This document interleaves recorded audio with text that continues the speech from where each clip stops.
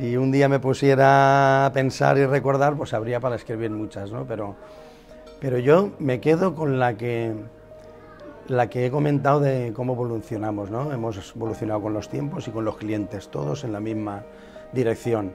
Y, lo, y una parte muy bonita de aquí es que trabajamos con la cuarta generación de familias que, claro, que empezaron como mis abuelos, que empezaron a tener casas aquí o vecinos los hijos, que serían mis padres, los nietos, que soy yo, y yo que ya tengo hijos y ya tengo nietos. O sea que vamos por cinco o seis generaciones conociéndonos y, heredando la visita amena. Eh, los hijos, cuando eran pequeños, a cada generación, eh, sintiéndose identificados y pidiéndole a los padres de venir. Todo eso ha sido una flipada. Y luego, otra cosa también a comentar, es que siempre lo he dicho, claro, eran otros tiempos donde se trabajaba como se trabajaba y muy a, burro barra según y, mi padre era incapaz de decir que no a nadie, a nosotros nos cuesta. No es lo mismo que te cueste a que saber cuándo tienes que cortar para que lo demás funcione conforme toca, porque hoy no es igual que antes, que en nada te conformabas y no pasaba nada. Pero vengo a decir esto porque yo recuerdo que las amistades más incondicionales que ha hecho mi padre han sido después de una bronca. O sea, mi padre los ha tenido en la barra, eh, una cervecita, cinco minutos. Esos cinco minutos eran 30 o 40. Y se desesperaban y se cabreaban y tenían sus motivos, aunque también estaría bien que entendieras un poquito, pero si tú has dicho eso, ya tienen derecho a reclamarte. Y yo recuerdo siempre que detrás de una bronca de estas, luego sentarlos, atenderlos, eh, volverlos locos en la mesa y lo que venía de sobremesa, ya no digamos, las, las amistades más incondicionales de que no tocaran a mi padre venían detrás de una bronquilla de esas. O sea que es duro por un lado, pero muy bonito por el otro. Y los amigos ya del pueblo, pues ahí nada, ahí se lo han perdonado toda la vida, pero porque también tienen mucho que agradecerle, y eso es recíproco. Decir he nacido aquí es porque es verdad, porque el restaurante ya estaba yo antes de nacer, pero es que yo he vivido dentro del restaurante, eso no lo sabe nadie.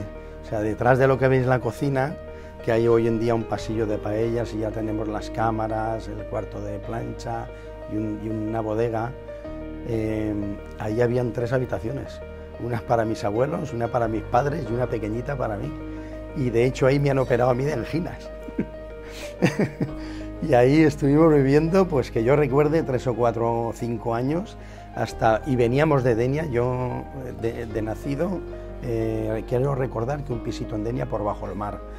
Y en año y medio dos nos vinimos aquí y a la espera del chalet que tiene actualmente desde hace muchísimos años, pues, pues muchísimos, pues 45 años mi madre, ahí arriba enfrente, justito y vecina de nuestro gran y entrañable amigo Vicente Miralles, que menos mal que yo estoy tranquilo, que ella vive sola, que es una amazona y que tenga un vecino como él que me la cuide.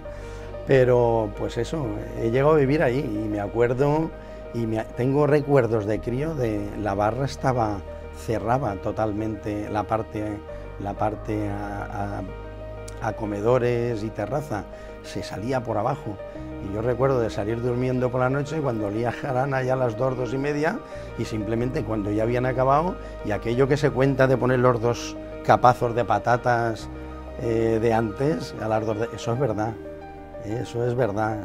ahí estaban tres o cuatro camareros, dos o tres de la cocina, mi madre, pelando patatas, tomando la cervecita y de tertulia.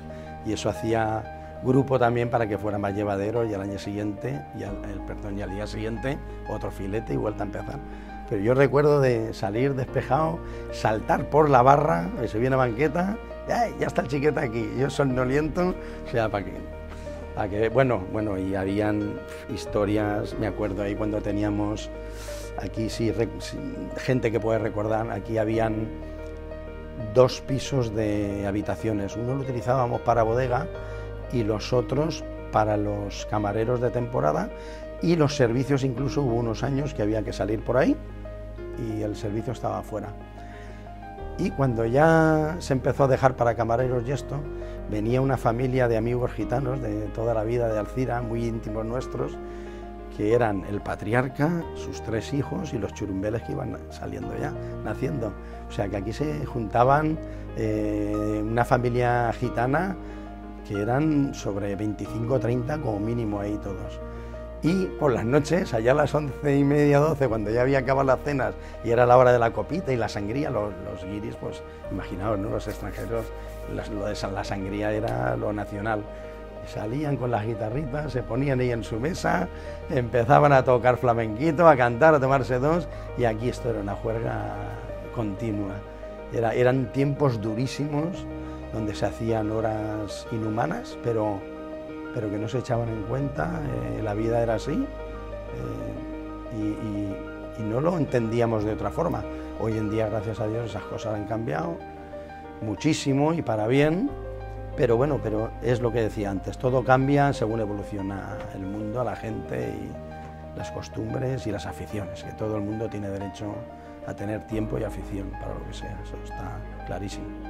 Tengo 55, pero llevo desde los 13 aquí y, la espalda se nota. Y es que estos dos últimos veranos han sido muy duros. Y este pasado eh, hay que ver, ¿eh? Con, eso te demuestra el cariño que tiene, que tiene la gente y los clientes de casa, incondicionales de toda la vida. Es que siempre lo he dicho, el, el 90% de la gente que viene diariamente a Mina es ya clienta.